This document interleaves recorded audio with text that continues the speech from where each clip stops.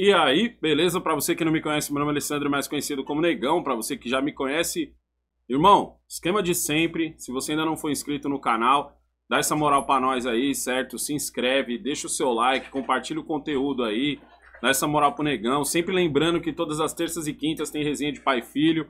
Ontem teve o resenha, então eu peço para você que dê uma bisoiada lá, certo? O link tá aqui no primeiro comentário.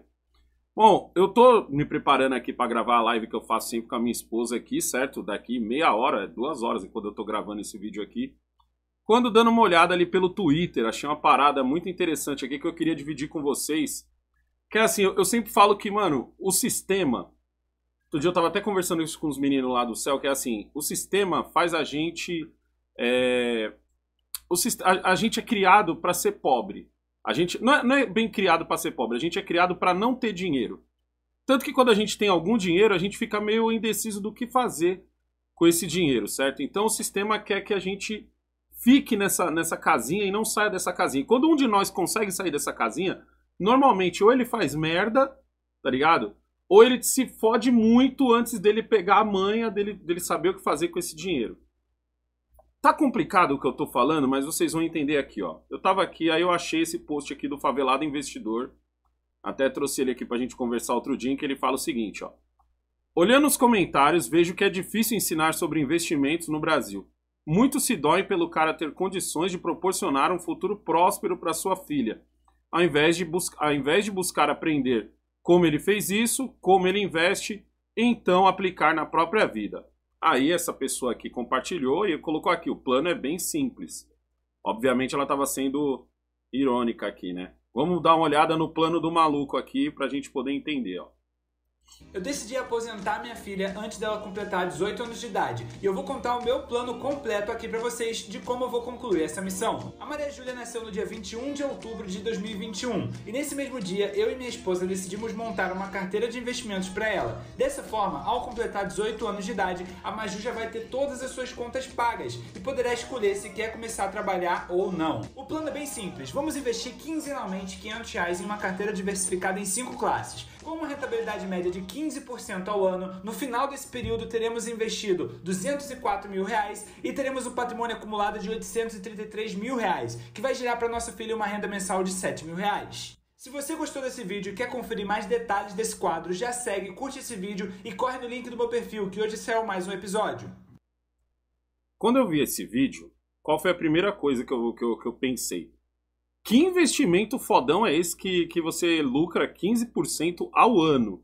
Tá ligado? Mas aí o que eu entendi, o cara deve ser de investimento, deve ser influência de investimento, tá trazendo as pessoas para poder seguir ele, tal e coisa e coisa e tal, tanto que ele pensa em resolver isso no, nos 18 anos. A segunda coisa que eu pensei foi, como vai estar tá a inflação, tá ligado? Para ir corrigindo, porque o, o, a inflação sempre vai existir e ela sempre vai deteriorar. Então você tem que estar tá sempre corrigindo. E ele faz um, um, uma soma como se, sei lá, ela fizesse 18 anos no final do primeiro ano, tá ligado? Então, mas, tipo assim, olha como a minha cabeça pensou. Vamos olhar de novo o vídeo, ó. Eu decidi aposentar minha filha antes dela completar 18 anos de idade. E eu vou contar o meu plano completo aqui para vocês de como eu vou concluir essa 18 missão. anos. A Maria Júlia nasceu no dia 21 de outubro de 2021. E nesse mesmo dia, eu e minha esposa decidimos montar uma carteira de investimentos para ela. Dessa forma, ao completar 18 anos de idade, a Maju já vai ter todas as suas contas pagas e poderá escolher se quer começar a trabalhar ou não. O plano é bem simples. Vamos ó. investir quinzenalmente 500 reais em uma ou seja, mil conto por mês. Quinzenalmente, 500 conto, mil conto por mês.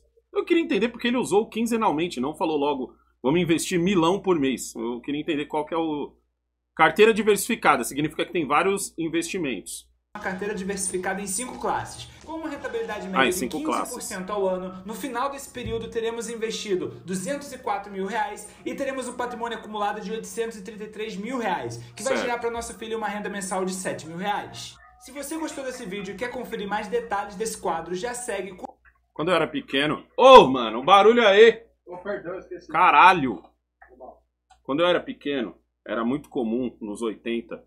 Essa, essa, esse bagulho acabou ali pelos 2000, 2000 e pouco. Não sei se acabou, mas eu, eu ouvi muito pouco sobre isso. Mas eu lembro que quando eu era pequeno, era muito, era muito comum uma criança nascia e o pai ou a mãe. E isso, mano, não era coisa de playboy, não. Pai ou a mãe pobre, eu tô falando formava para ele uma, car uma carteira de poupança. Uma carteira de poupança, acho que era assim que falava mesmo, uma carteira de poupança. Por quê? Para que quando ele tivesse ali perto dos 18, ele pudesse entrar numa faculdade e você, tipo, não, não se foder tanto para pagar, uma, pagar uma faculdade, tá ligado?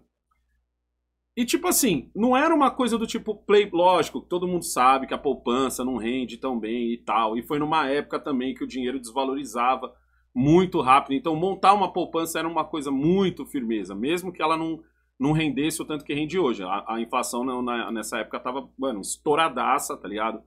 Então, tipo, estouradaça mesmo. Hoje, hoje você reclama que a inflação tá alta, você não pegou a época antes do real, onde a inflação era alta de verdade, de você comprar um negócio 9 horas da manhã e no mesmo lugar, 5 horas da tarde, ele custar o dobro do preço. Era nesse naipe a inflação, entendeu? Então, tipo assim, as pessoas já tinham esse costume de guardar o dinheiro para no futuro, o filho. Era uma coisa comum. Minha mãe tinha, eu lembro que a mãe da Cleide tinha também. Ou seja, não era uma coisa de playboy, certo? Mas quando você lê os comentários, vamos ler os comentários agora do tipo assim, você pode, você pode julgar várias coisas em cima desse vídeo, certo? Você pode julgar várias coisas, mas adivinha no que que as pessoas se apegaram. Aqui, ó. Vamos ver os comentários do vídeo aqui, ó. Certo? O plano é bem simples. Eu sou rico e deixarei minha filha rica. O plano é bem simples diversificado. Como eu faço isso? O segredo, a ideia, bababá, bababá. Só tirar um salário mínimo por mês para ela por durante oito anos. Fácil demais. Tipo aposentadoria, blá blá blá blá blá. A, a, Maria, a maioria tá, se, se apegou literalmente nos milão que o cara tá deixando para ela. Eu, eu, não, eu, não, eu não consigo entender esse povo, tá ligado? Eu não consigo entender esse povo. Eu acho que, eu acho que falta pro brasileiro uma espécie de senso de, propor, de proporção. Tá ligado? Falta pro brasileiro uma espécie de senso de proporção. Porque assim, milão é o que eu pago hoje na escola do Jamal. Tá ligado? Milão é o que eu pago na escola hoje do Jamal. Se eu tivesse a manha de fazer investimentos, esse tipo de coisa, eu também faria. Mas, tipo assim, pelo que eu entendi, o cara vive disso. O cara que não vive disso, todo, todo pai ou mãe, ele já faz um investimento no seu filho. Seja no caso desse daí que tá guardando, ou seja no meu caso que eu tô, sei lá, dando de tudo para os meus filhos, para que meus filhos possam ter um futuro melhor. Isso já é um investimento que você tá fazendo no seu filho. E muitas vezes você gasta mais do que esses milão. Tá ligado? Você gasta mais do que esses milão que esse cara tá falando aí. Esses milão, no caso, é o que ele resolveu fazer como aposentadoria parece muito mais uma, uma espécie de vou fazer um vídeo que vai me deixar famoso e o pessoal vai vir no meu perfil e eu vou ganhar mais com isso? Parece. Mas, tipo assim, a gente tem que ter uma espécie de proporção. Beleza, é, é, para ele é fácil é, guardar os milão, de repente para você é difícil, mas você pode gastar cenzão. Eu aposto que a maioria dessas pessoas que estão zoando o cara podiam, ter, é, podiam separar 200, 300, às vezes até 500. Era só deixar de ir pra balada beber, era só segurar o cinema um pouquinho, era só segurar um monte de, de coisa que você come, que você nem precisava, tipo salgadinho, os refrigerantes e tal, você podia ter uma... Só de você ter uma alimentação melhor, num país como o Brasil, você já consegue economizar. Aí eu fico pensando sempre assim, eu falo, mano, se você parar pra pensar, é o que os políticos adoram fazer com a gente, é isso. Já parou para pensar nisso? Os políticos adoram isso, adoram que você pense, que você não pense, na verdade é isso, adoram que você não pense, adoram que você leve tudo a ferro e fogo tá ligado? 8 ou 80, sempre num exagero, sempre num extremismo, sempre num ó, o playboy, ele olha lá o que o playboy, tem, só playboy consegue guardar um dinheiro pro seu filho. Pô, puta que pariu, só do, só do pai pagar as contas de casa em dia, conseguir botar comida na boca do filho, conseguir sentar um, uns meia hora para conversar com o filho, ele já tá investindo pra caramba no filho dele.